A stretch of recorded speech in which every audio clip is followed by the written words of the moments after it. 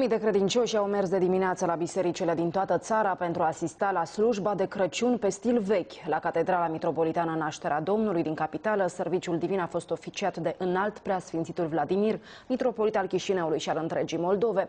Lăcașul sfânt a fost invadat de creștini.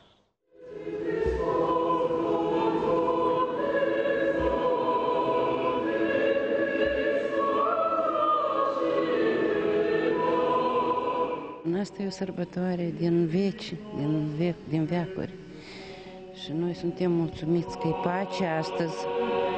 Așteptăm ceva înspre bine. Ziua наșterii Иисус Христос. Это человек, который родился для того, в образе человека, для того, чтобы приблизиться к нам, к людям, и послать нам мир, радость в жизни вечной. Să ne rugăm toți împreună, deoarece ați văzut care e bucuria nașterea Domnului de ani de rând, ea că ești permanent 20 ceva de ani.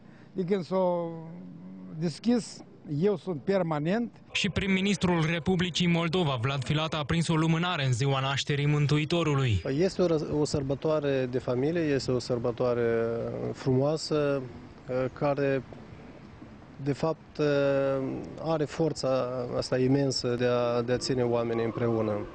Este cea mai caldă sărbătoare. De la bunul nostru Dumnezeu vreau, așa cum am spus, să dea sănătate și pace țării noastre.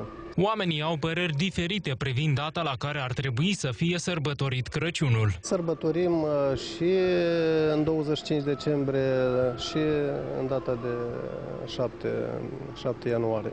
Destul cât n-am sărbătorit niciodată.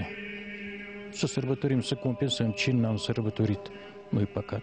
Eu pe 25 sărbătoresc alte sărbătoare, sunt Scridon.